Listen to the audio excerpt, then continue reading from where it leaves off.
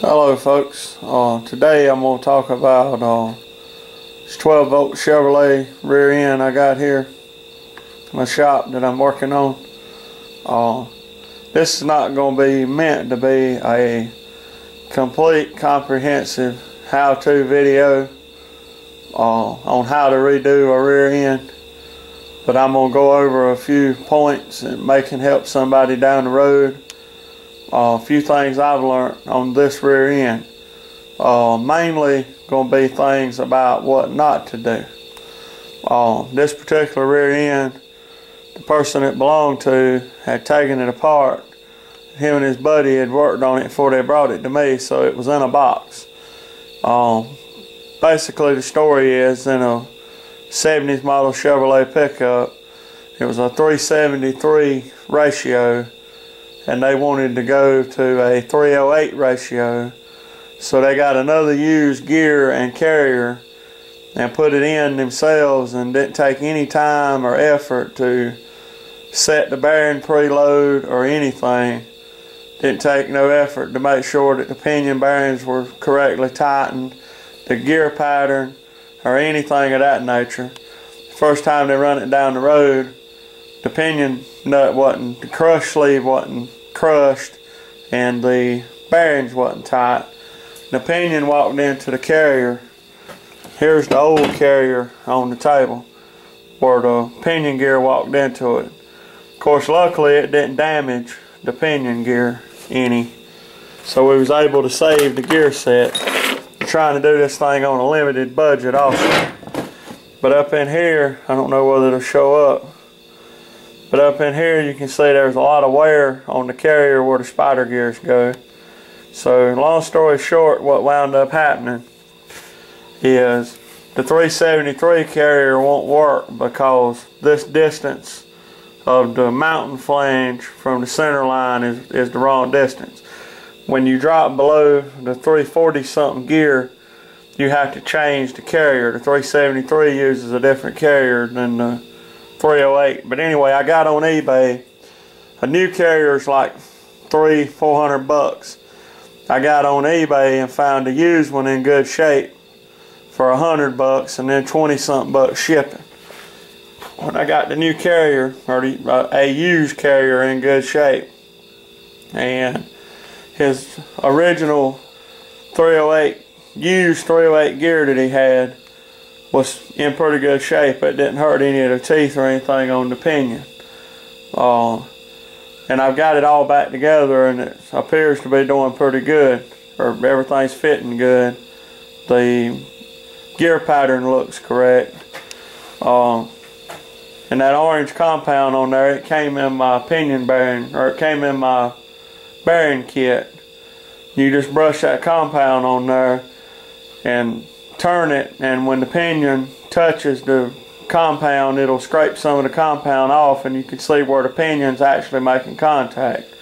And in the setup book that came with the bearing kit it shows you what the correct pattern looks like.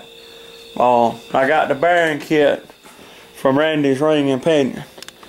Uh, and the disclosure I'm not a paid endorser of Randy's Ring and Pinion but I have bought parts from them over the years and have never had nothing but good success with them.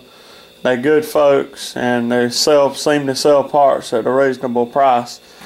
Um, this kit here for a 12 bolt was I think uh, right around a hundred, but 130 bucks maybe shipping and all.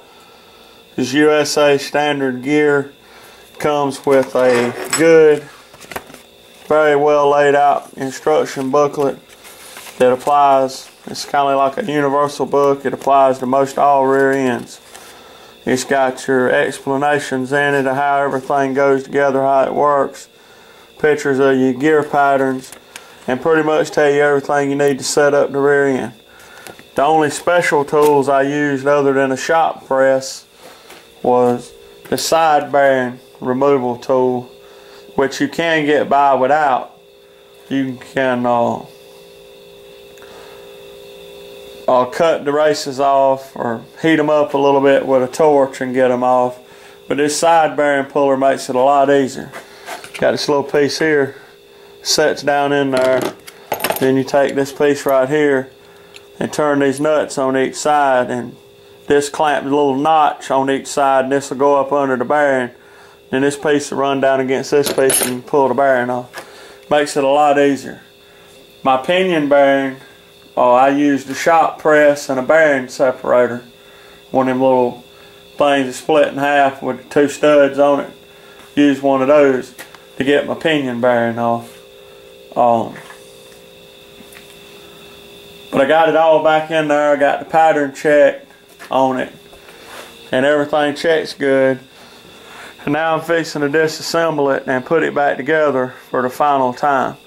Uh, one of the things that these folks that took it apart done is these caps right here. When you take these caps off, you need to mark them because they go in it's just like the cap a bearing cap in an engine. They go in a specific spot. They're machined for one spot.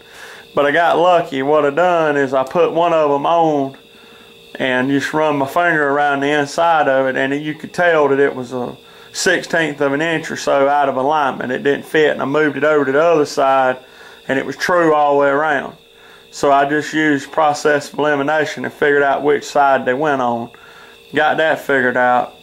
And another thing they done, when they took the pinion out, when they took the nut off of the pinion, they took apparently took a hammer, just a regular hard hammer, and drove the pinion out, and it messed the threads all up on the pinion. Well, it was an oddball thread that I couldn't find the tap for. I mean, I couldn't find the die for to clean the threads up handy little trick I figured out is I took, and I don't know whether you can see it, but I took an old pinion nut and took a little small saw and cut six little grooves around inside the nut down into the threads and made a cutting surface just like you would have on a thread chaser and put some cutting oil on it, greased it up good and run it on and off two or three times and it cleaned the threads up just as pretty as you ever seen.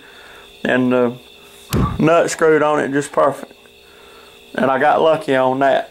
But if you're ever taking one of these things apart be sure not to hit the end of the pinion with a hard hammer. Use a brass hammer a brass drift a rubber hammer a plastic hammer anything besides a steel hammer because it will booger those threads up and it makes it a bear to figure out how to get it straightened out. Another tip that I want to point out if you're working on one of these rear ends is this carrier when you go this is the old carrier when you go to mount the gear on this mating surface you need to make sure that that thing is perfectly clean there's no burrs or any kind of ridges or anything that's going to cause that gear not to seat properly down onto that uh, carrier.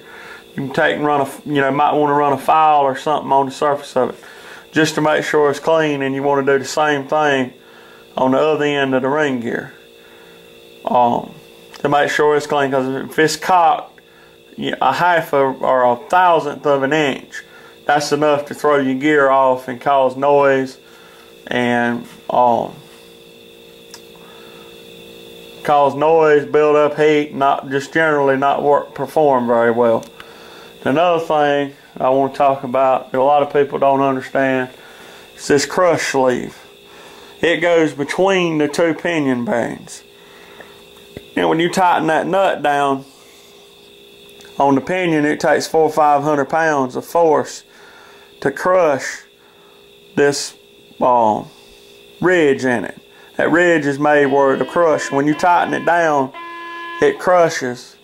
And that's what maintains the load on the bearing. That was one of the things they overlooked when they took it apart and put it back together themselves. You got to really bear down on that nut to crush this sleeve and get it tight. And you want a certain amount of what they call preload on the bearings. And uh, you measure that with your uh, a dial operated inch pound torque wrench.